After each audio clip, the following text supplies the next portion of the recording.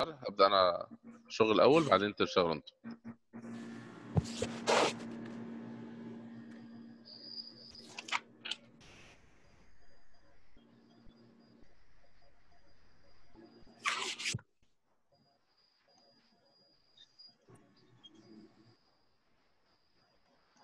بسم الله. التمرين اللي إحنا هنشتغل عليه اليوم تمرين مش كبير ولكن في معظم الحاجات المهمة يعني. أول حاجة عندنا إحنا في هنا عندنا جزء WordArt بعدين صورة وبعدين نص. هسيب مكان ال WordArt وأسيب مكان للصورة وبعدين أكتب النص. ما تعملش الصورة الأول.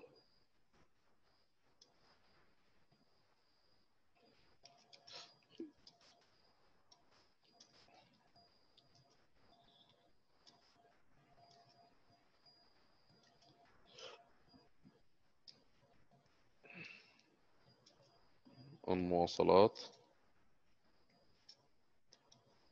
حيث أثرت على المسافرين. الكثير من الوقت. والجهد.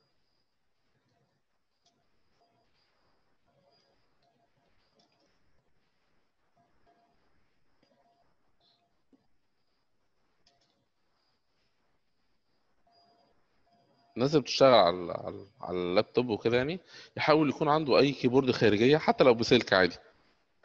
لأن ال keyboard بتاعت لوحه المفاتيح بتاعت آه، اللابتوب بتبقى الزراير بتاعتها قريبة من بعض شوية وبتبقاش فيها إيه ما بتبقاش عالية.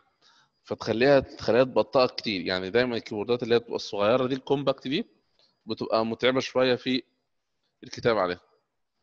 يعني حتى لو هتجيب keyboard خارجي ما تجيبش برضو اللي هي ال keyboard اللي هي بتبقى compact اللي هي الصغيرة دي. حاول تجيب keyboard كويسه حتى أنا بسلك عادي يعني بتبقى رخيصة. عشان تتدرب عليها لأن أنت أصلا اختبارك حتى بيكون على keyboard keyboard عادي يعني كمبيوتر عادي. طيب إحنا كده خلصنا كتابة. بعدين هنا في تويوتا بيجو مرسيدس BMW إن شاء الله. اللي عامل التمرين كاتب BMW غلط. الله ينور. ماشي. طيب. الحين ده النص اللي في التمرين يبقى هعمله أول شيء وبعد كده أبدأ نص وما ينفعش تعمل تويوتا مثلا وتروح عامل لها تعداد رقمي تعداد نقطي زي كده. آه هيجي اللي بعد كده كله تعداد نقطي ولكن لما تيجي تعمل بعد كده تعمل enter هتلاقي برضو تعداد نقطي بقى زيادة معاك. لا إحنا بنعمل حاجة نكتب الأول بعدين نبدأ نشتغل. النص ده أنا هكبره طبعا ما فيش نص 11 استحالة يعني. خليه 14 مثلا ونعمل له ضبط. هو اللي هيشد الكلام. عادي عادي. البيجو والتويوتا وال BMW دول بعمل لهم تعداد نقطي اللي هو هي مش باينة في الصورة بس تقريبا تعداد نقطي. تقريبا هي هي. طيب ال WordArt إدراج WordArt السيارة. سيارة في الوسط أهي. طيب. بعدين إحنا عايزين السيارة دي تكون بشكل مائل على كده. تأثيرات النص أهي وجوه تنسيق تحويل اختار الشكل اللي انت عايزه أو اللي هو عامله. هو عامل ده تقريبا. اهو السيارة.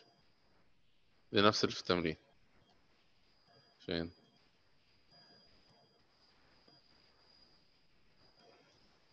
اهي. نفس اللي في التمرين. سيارة. وبعدين إيه؟ نحط لها صورة سيارة هنا. سيب فراغ برضو هنا تاني. إدراج. صورة عبر الإنترنت. ما عندكش انترنت اختار أي صورة على الجهاز. في الاختبار كده. ما تقعدش تضيع وقتك تقعد تسأله. آه. سيارة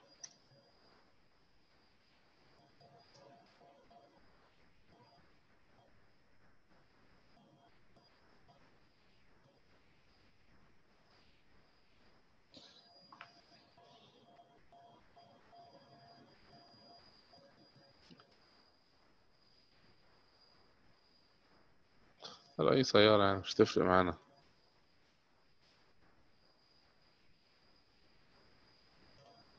عشان تبقى شبه في التمرين. إيه عملهاش؟ تصدق؟ كنتش سيارة.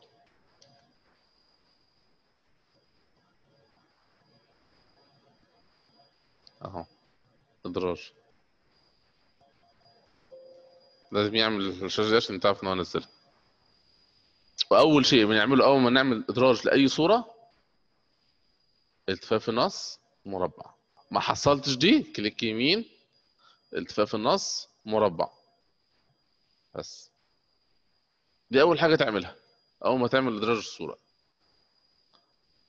طيب. آه... التمرين في إيه تاني؟ ماشي. شكل إدراج أشكال. خلي بالك الفرق بين الشكل ده وما بين الشكل ده. أنا هوريكم كلهم عشان تشوفوا. يعني أنا بشرح كمان مع الشغل. فرق ما بين التلاتة. طبعا في العكس ده. فرق كبير بينهم. في فرق. ده وده عكس بعض. لكن ده وده وده عكس بعض. بس ده مش شبه ده. لازم أشوف التمرين بتاعي هو طالب مني أنهي. طالب أنهي؟ طالب اللي هو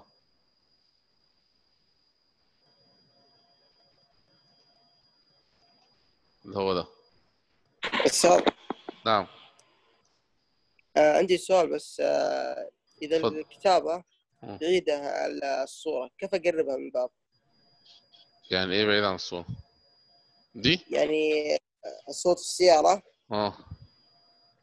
بعيده عن النص. كيف أقربها؟ إذا كانت بعيدة مثلا. ما هي ما هي أول حاجة لازم تعمل دي. هي بتجيلك زي كده. هي بتجيلك إيه؟ كده. بيجيلك كده. مش عارف تنقلها أنت. صح؟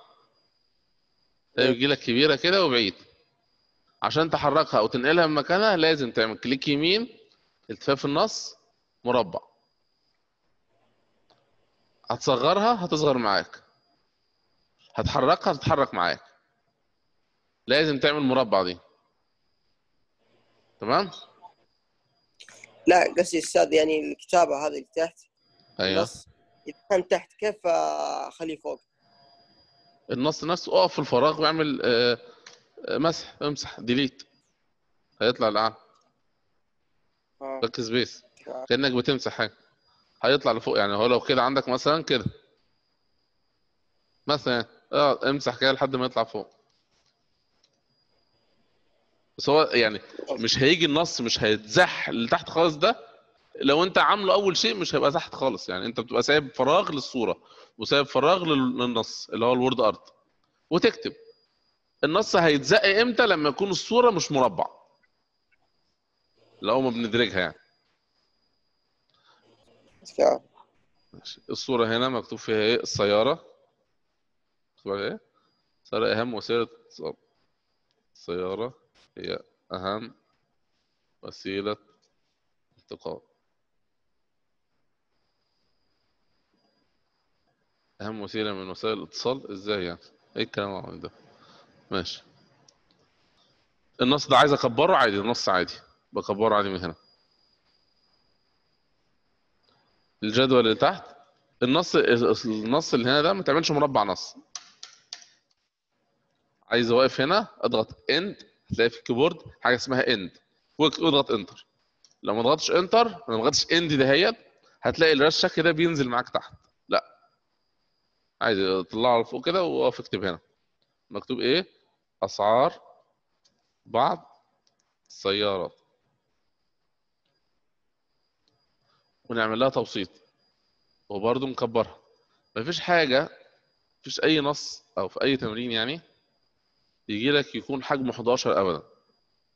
14 16 مفيش أقل من كده. ونعمل جدول. الجدول ده كام صف وكام عمود؟ آه. واحد اتنين ثلاثة ثلاث أعمدة. واحد اثنين ثلاثة أربعة. أربع صفوف. إدراج. الجدول بالذات حاول تقف في المكان اللي أنت عايز فيه الجدول بالظبط. يعني عايزه هنا يبدأ من هنا ماشي. لأن لما بنعمل إدراج بيدرج مطرح ما إحنا واقفين. فلو أنت واقف بالكيبورد هنا بالماوس هنا يعني وتيجي تعمل الجدول هينزل لك هنا. والجدول متعب شوية في نقل. ثلاث أعمدة وأربع صفوف. والجدول مفيش فيه أي شيء. وسعه شوية كده.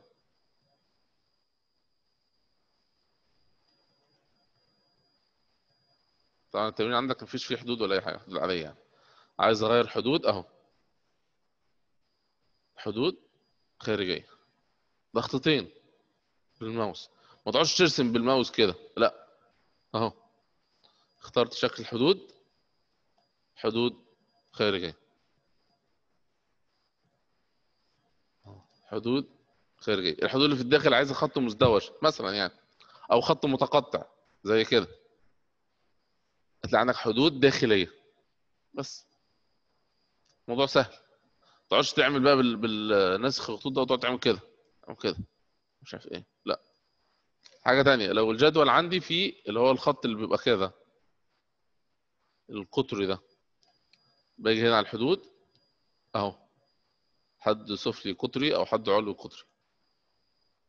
ده لو موجود في التمرين يعني لكن مش موجود عندك. فالتمرين اللي عندك دوت مش هياخد منك أكتر من 10 دقايق. بالظبط يعني. هتنفذه وتكتب الكلام 10 دقايق. الحقيقة الساعة كام الحين؟ الساعة 6 22 دقيقة.